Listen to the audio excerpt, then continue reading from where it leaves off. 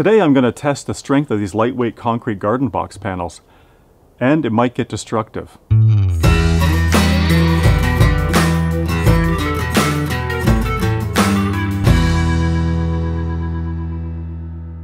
In this series I've made several lighter concrete mixes for these panels.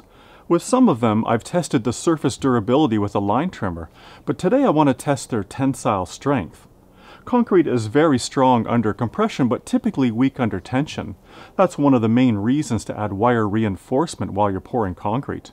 Now like the line trimmer test, this is not scientific, but I wanted to see generally how the panels fared under a sideways load. These tests are designed to simulate the pressure the soil would exert against the garden box, or how the frozen soil and ice in the garden bed may expand in the winter and push against the inside face of the panels. I have a couple of ideas for testing their tensile strength. I designed a rig to suspend a panel on two steel rods, then I can load the panel with more and more weight. The testing rig also has a ramp so I can drive my truck up on the panels and see how they take a much heavier weight. Here's how the rig works. It's made from framing lumber and has a wide base on one end and a narrow base on the other. There's a pair of wooden blocks on each end that hold a steel rod. The panel is placed in the testing rig with the inset facing down. The wider base end has a ramp for the truck. On the scales of my local gravel pit, my truck weighs about 6,900 pounds, with the front end being heavier than the back. With only the front two wheels on the scale, the weight is 4,350 pounds, so each front wheel exerts 2,175 pounds or slightly more than a ton, and each back wheel then exerts approximately 1,275 pounds. I have a hunch that the panels may not survive that much weight. It might be beyond the inherent tensile strength of a concrete beam of this dimension, and this might be way beyond the forces that any panel may be subject to in a garden box, but I thought I'd give it a try anyways. I think the weakest point is around the hole for the rebar that connects the panels to make up the garden box, so suspending the panel on the steel rods will put a lot of stress at that point. The plan is to slowly roll up in the panels and stop at the center of the span. If the panel breaks, then it will be interesting to see where that happens, and is that connection point the weak link? I have no idea what will happen here, so I think it could be interesting. I'll try the regular sand and gravel Portland-based panel first when I get to that test. I have more 36-inch panels than any other size, so that will be the length I'll do all the tests with. So here's the panels I'll be testing. The first is made from regular Portland-based sand and gravel concrete and weighs 51 pounds. The second is the red lava rock mix. It's the third lava rock panel I made in part 3 of the series, and it weighs 46 pounds. I don't think it's actually lava rock, but it's sold as that. Next will be the vermiculite blend. It weighs 35 pounds and was also made in part 3. Finally, I'll test two perlite blends that I made in part 3.5. The black tinted panel was made with CSA cement and weighs 29 pounds. The red tinted panel was made with Portland cement and weighs 35 pounds. Now to build the rig and test these panels. The rig went together pretty easily. I had some scrap 2x4s and 4x4s and some other framing lumber around from other builds. The blocks that hold the metal rods were made from some tight grained fir for strength. After cutting everything to length on the miter saw, I lay out the hole locations on the blocks. A center punch is used to make a divot to help guide the bit when I get to the drill press. I start the holes from both ends of the block.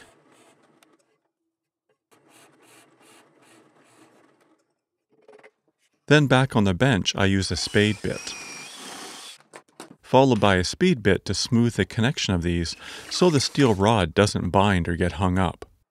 Two blocks are set in place and clamped. I used a tire iron to align the holes. This is all pretty rough, no precision woodworking here. Then screws run in from the underside. Then I'll make the platform for the other end of the rig and attach the blocks to it as well.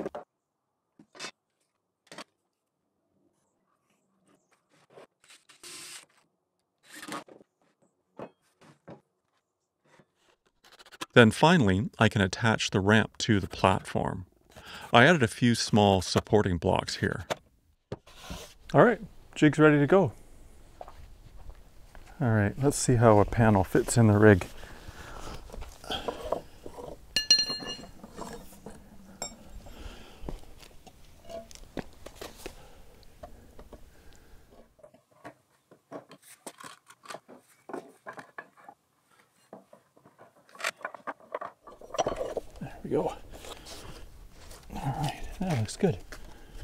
Think that'll work. Okay, regular concrete. Before I test the panels in the rig, I decided to simply lay them over some 2x4s and step up on them.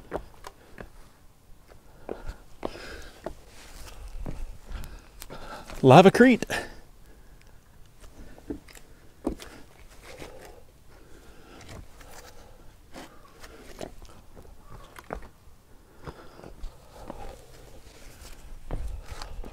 Vermiculite.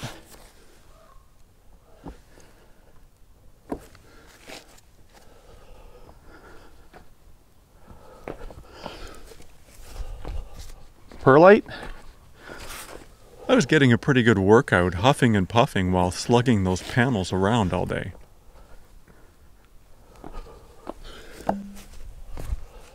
and another perlite.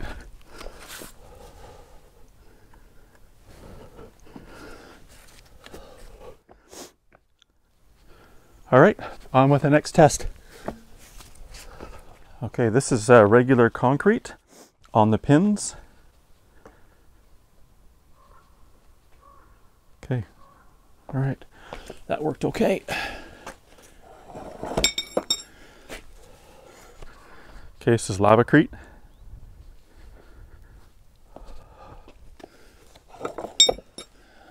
Vermiculite. Okay. Okay, that's perlite.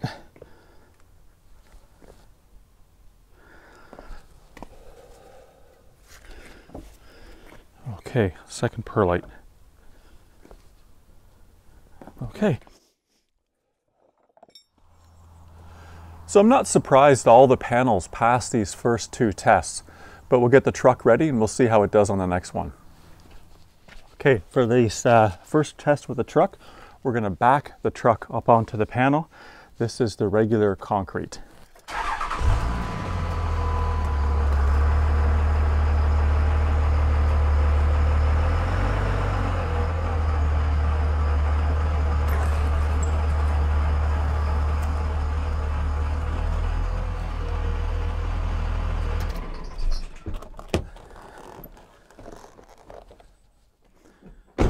Well, that's a fail.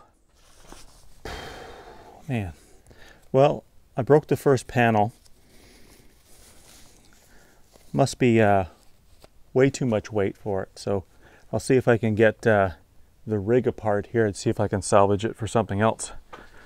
We'll see how it goes. I don't know if I can get this out or not.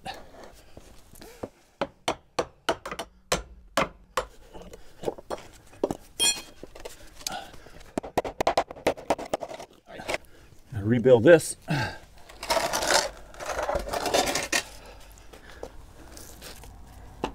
All right, let's pull the truck ahead have a better look at that. See what it looks like. All right.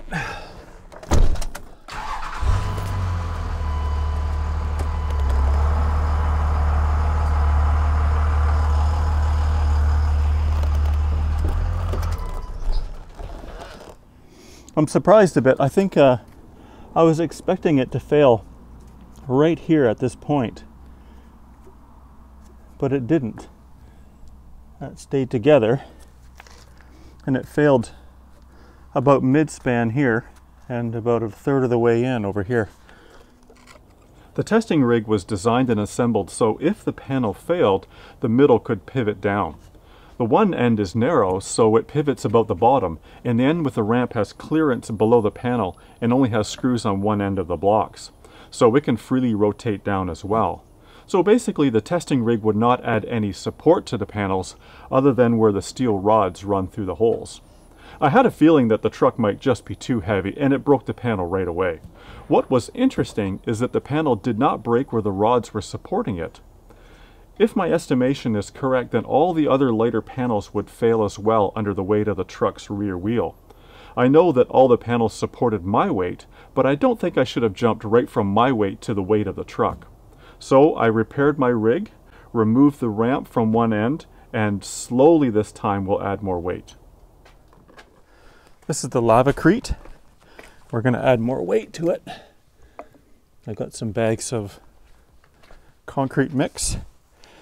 So this is uh, an additional that's 55 pounds. And I'll stand on that. We'll make it 250 pounds. All right, no problem with that. We'll add another 55 pounds. 110 plus 200 310 pounds. All right, no problem with that.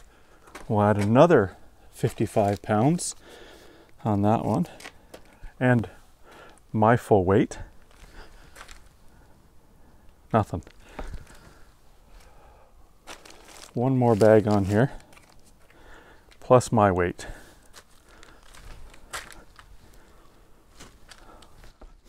Nothing. Okay, this is the vermiculite blend with additional weight 55 pounds. 255. Add another 55 pounds.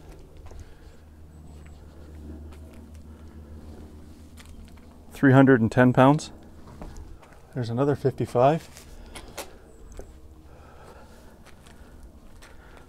365 pounds.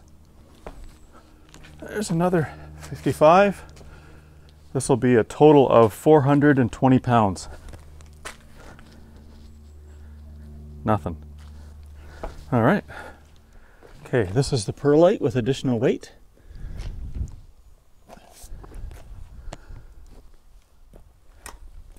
Two hundred fifty-five pounds. I heard a little crack. This will be 310 pounds.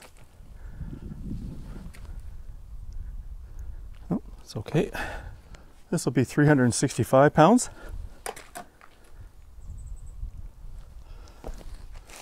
This will be 420 pounds.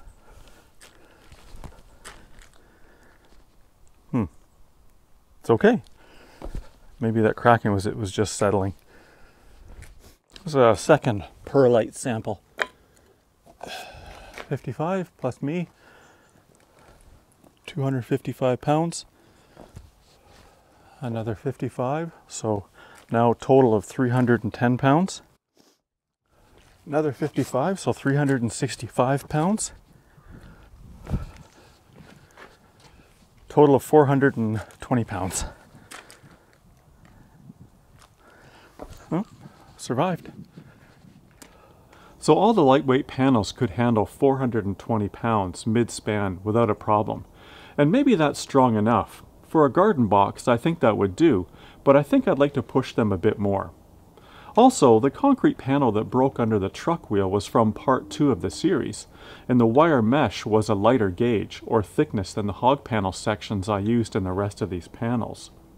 So for the next test, I built a new rig, I modified my shop press to hold a panel on the steel rods in a similar fashion as the first rig. With the shop press, I can measure the weight applied by the ram. There's a gauge connected to the hydraulics that measures the force applied in one ton increments. Those are large jumps in force, so hopefully I can still estimate the weight applied somewhat accurately. The blocks that hold the steel rods sit on two lengths of heavy steel channel. I would expect these channels to flex a bit, but I hope they don't bend under the load. And I hope the rods don't bend either. I think the panel would fail before that, but I don't know. I haven't tried this before. If the stress becomes too great for the press or my rig modifications, I'll stop. Either way, if the panel breaks or it doesn't, we'll have some numbers to look at. Okay, here we go. Once I set the blocks on the channels, I then set a panel in place to test the fit and make adjustments.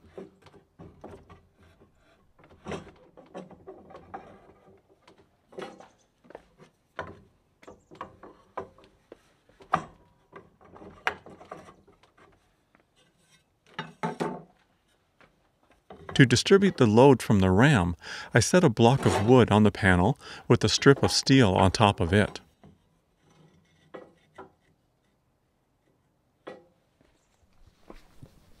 Okay, this first test is with uh, Lavacrete. Looks like everything's rolling. Shield's in place. And we'll apply some pressure and see what happens.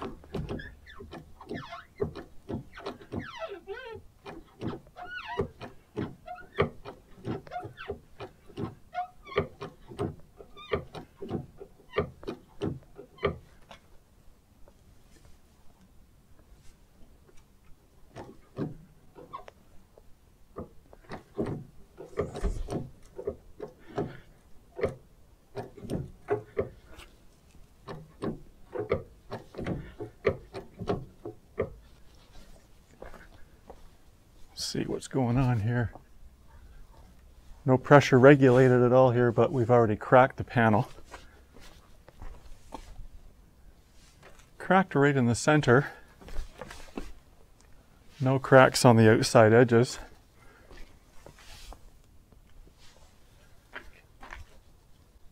And I don't think it registered anything on the gauge. Well, we'll have a look in a second.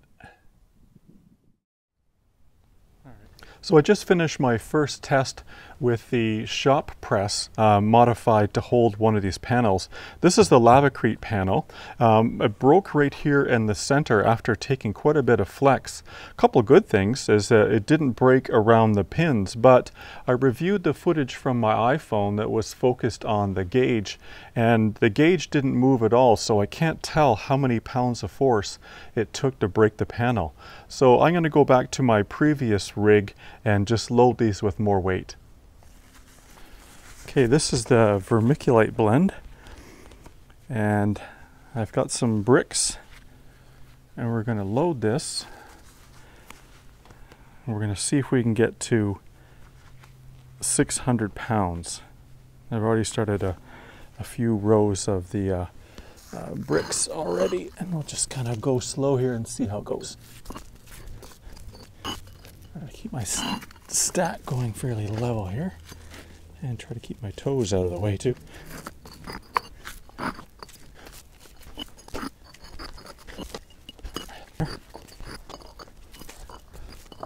Let's have a quick peek here, see if it's flexing at all. Oh yeah, it's got a bit of a flex to it.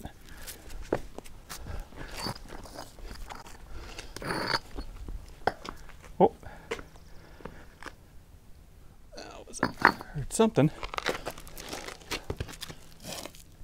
No, no crack yet.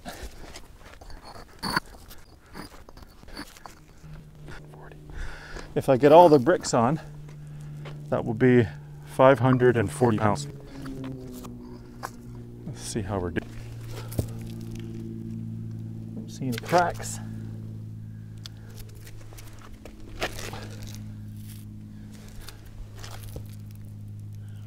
Might be one starting right there. Let's see if we can get uh, to 540.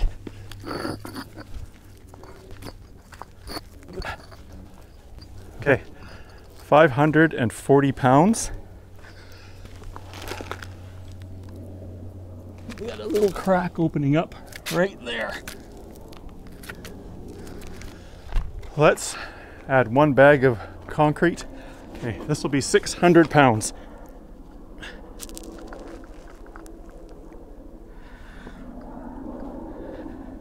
I see another crack starting to open up right there. Okay, I'm to stop at 600. We'll pull all the weight off and uh, have a look at that crack.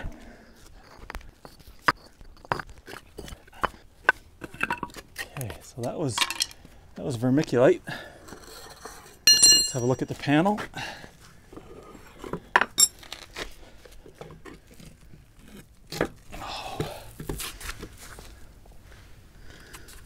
Little fine crack right here. It's still together though. But that would probably be where if I added more weight it would fail. Everything else looks okay. All right, that was a vermiculite. 600 pounds. This is the first perlite, and we'll do the same. All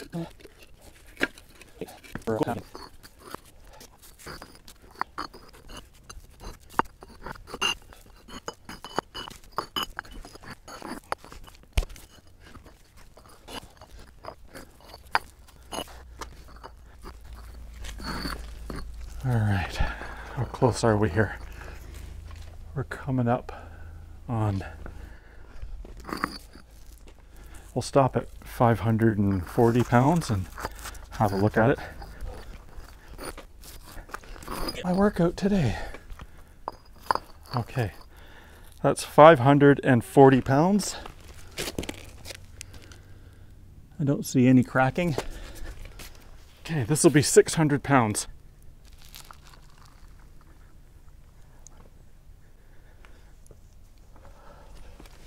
I don't see any cracks.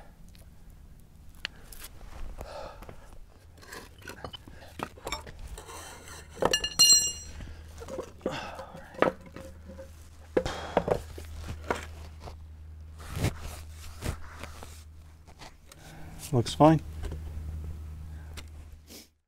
Okay, so uh, CSA uh, based perlite. And I think this is actually the lightest of the panels. Light. Oh.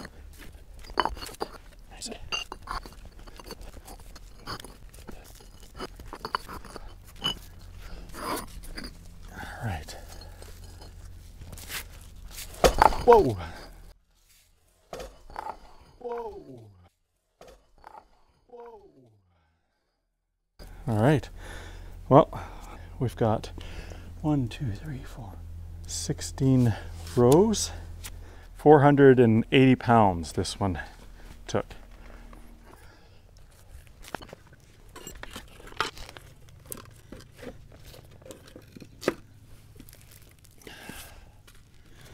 No problems with the edges. All right. So I got another uh, sample of uh, regular Portland-based sand and gravel concrete, and this one was made in uh, made in part one of the series, so it's a couple of years old.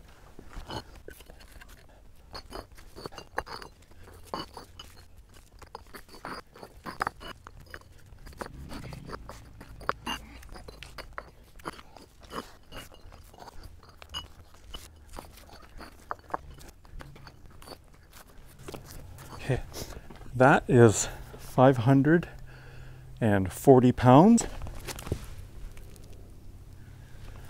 And let's go to 600.